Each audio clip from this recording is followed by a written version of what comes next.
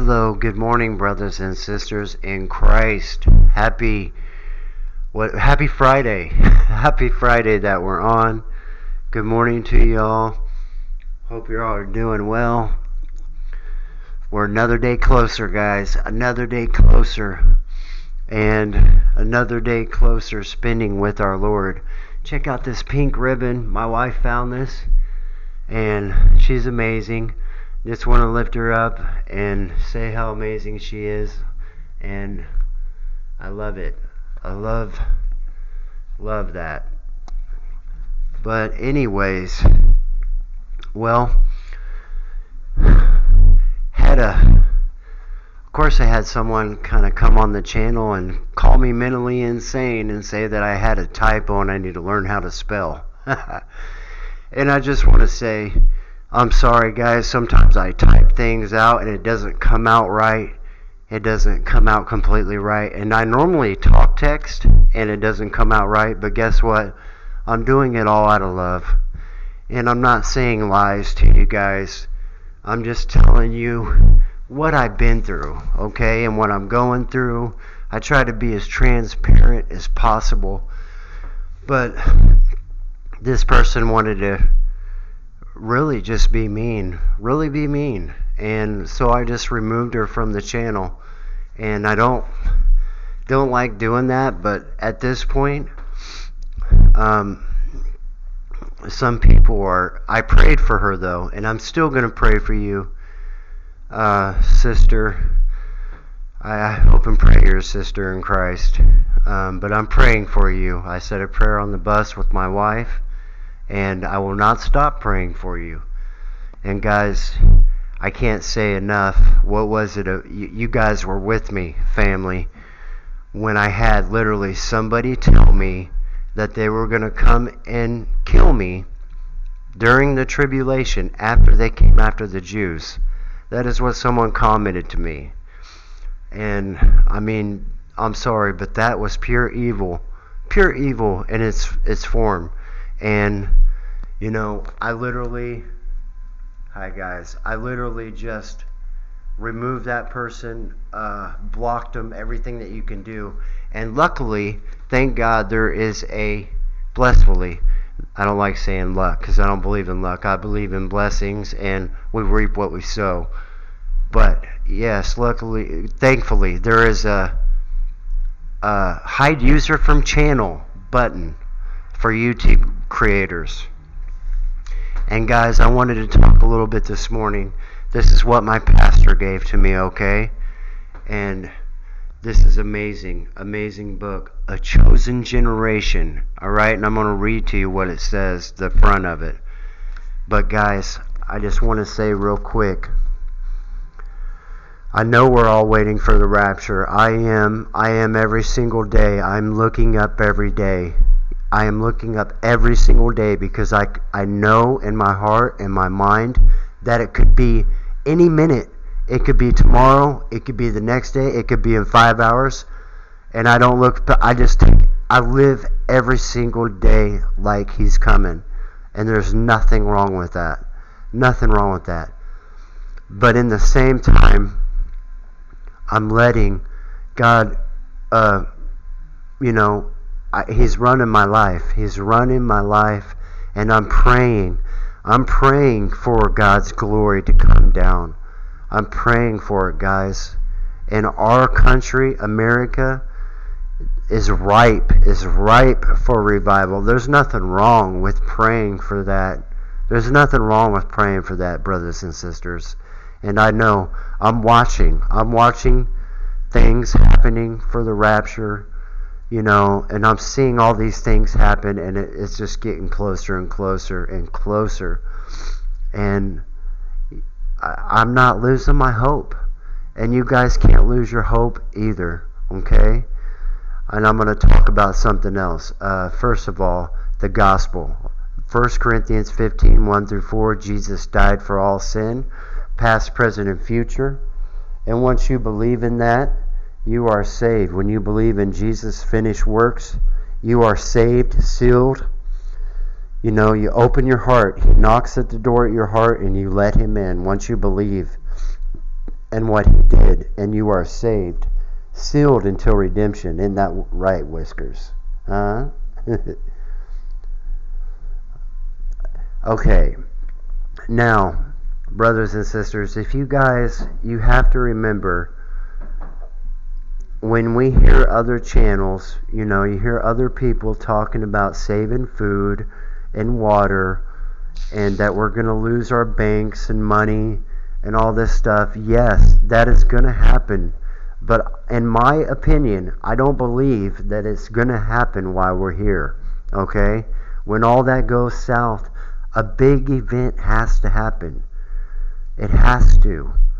And what what's our next prophetic event that I believe and you guys believe? The rapture, okay? But until then, the Holy Spirit is still here. The Holy Spirit is still here on this earth in us. In us. The same Spirit that God rose Jesus from the dead with is inside of us, okay? So you have to remember that and I'm speaking to one person here. Um, don't let those. I know it's hard. The fear comes on you, and these maybe these other channels are are speaking to not the body of Christ. Okay, maybe they're speaking to, um, you know, unbelievers. Maybe that's what they're talking. Maybe that's the groups they're talking to. But as for us guys, we got nothing to fear we got the Holy Spirit inside of us, living and indwelling in us. And what happens during the rapture, we already know. God takes His Holy Spirit home, He takes His children home. And we have the Holy Spirit in us. So we don't have nothing to fear, brothers and sisters. Nothing to fear. Because Jesus is in here, He's in me and you. Let me read this to you real quick a chosen generation. I can't get it on camera, but I'll just read it here. But you but you are a chosen generation, a royal priesthood, a holy nation, a peculiar people, that you should show forth the praises of him who hath called you out of darkness into marvelous light. 1 Peter 2 9. And I want to thank my my great, awesome friend and brother in Christ, my pastor, who gave me this. And I haven't started reading it, but uh, I started reading. There's a scripture and a and kind of like an intro for every single day, and uh, I thought about sharing that with you guys. Let's just see. Today's March. Today is March 23rd. I believe. Yeah, guys, it, and I'm sorry. I really prayed for this sister that it, it's been bothering me today. But I read a scripture today in my Bible app on the phone. It said, Father, it was talking about mockers and scoffers. You know, if you don't do anything out of love, man, love is all in me from the Holy Spirit. I try to glorify Him in everything I say in everything I do. Do I always know? But I really try. I yield to the Holy Spirit and, you know, let Him just take over. And if I say something bad or wrong, I always apologize, but I say everything out of love. And God gets all the credit, all the credit for giving me His Holy Spirit, me believing in Him. And thank you, Father God, for that. Okay, let's read March 23rd. This is called Be Transformed. Romans 12:2. It says, "When it comes to serving the Lord, if we are not rooted and grounded in his word, we will find ourselves looking a lot like the present world." Fundamental Baptist churches today have forsaken the truth of Romans 12:2. We are the sta- um, excuse me we are commanded not to conform to this world. But as time goes on, we see Baptist churches changing the Bibles, changing the, their standards, changing their music, all in the name of compromise. When we conform our own lives in this world Our homes become conformed, and when our homes are conformed to this world, our church churches follow suit. To avoid transforming to this world, Paul advises us to be transformed by the renewing of our mind. Our minds can be renewed.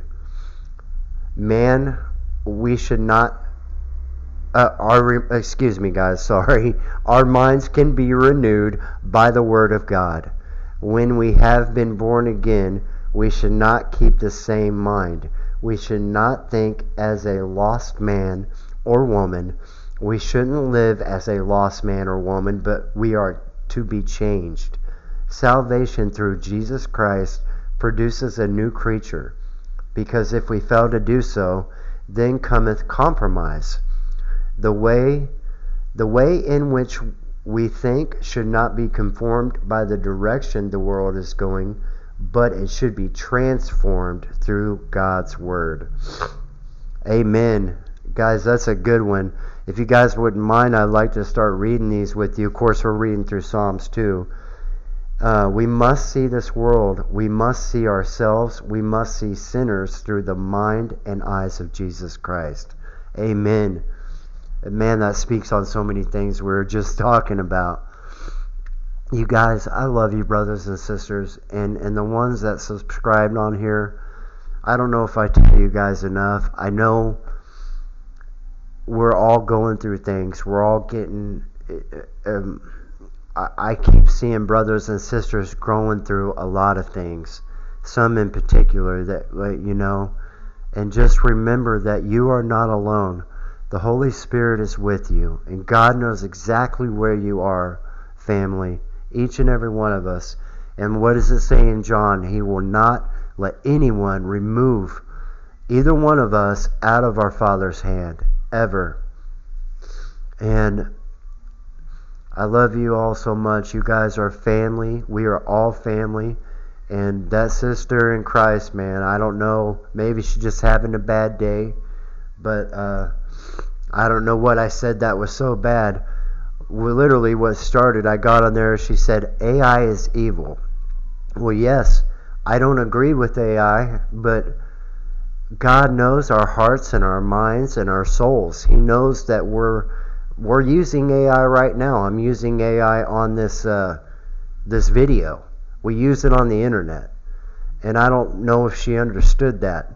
That doesn't mean I'm worshiping it or you know I, uh, I, all I said was God knows our hearts and our minds, and I said unfortunately we're using AI by this even this conversation we're having. I don't want to be, and I I don't use I, and I had an option come on my iPad for me to use AI. I don't use it, and I never will, guys. And I want to say that this is all me here. I mean, all God through me and I'll never use AI. I won't. Not to make these videos look cooler or anything like that. So I just want to say that. But that's what the whole conversation was this morning, too. And I just, there's going to be people, brothers and sisters, you guys already know, trying to steal your joy. Do not let them. The Holy Spirit is in us, and praise God for that.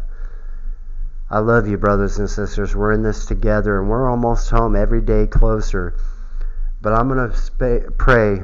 Let's pray real quick. We're already at 14 minutes. Father God, thank you for this day. Thank you for bringing us closer. I pray for that sister in Christ that you could humble her heart. I, we love her and we pray for her. We pray for everyone that watches this video that they are touched and they grow closer to you. We love you, Father God. We, we are praying for every watchman and watchwoman that they have extra strength, comfort, and peace, all in Jesus' name. We pray for peace in Israel and Jerusalem. We pray for all the lost and all the Jews to be saved. We pray that the enemy does not prosper against us. We pray all these things in Jesus' mighty name. Amen. And I know, guys, I I am a rapture watcher. I am looking every single day. I'm a watcher for Jesus and and every time I get a chance, you guys, if somebody I see someone, me and my wife just went into town And if there's someone that comes up to me or I hear the Holy Spirit say, go talk to this man, I'm to go talk to him. And I didn't make any salvation letters because I was not feeling well at all yesterday or the day before. Also had a spider bite on my neck that I actually had a fever after that. And uh, I try to take care of my wife as much as possible too and spend time with her. You know, so I'm sorry if I haven't been seeing comments and I don't get back to them fast enough, guys. I try. I love you all, brothers and sisters. We are another day closer. Don't hang your head. And every time the enemy tries to come at you, you are washed by the blood. You are washed by the blood of Jesus Christ, and you are a beautiful child of God. I'm Nathaniel. I'm a beautiful son of God, and you are beautiful child of God. Yes. All right, brothers and sisters, have a good day. If anybody needs prayers or anything, always in the comments. Love y'all. Nathaniel, I'm out.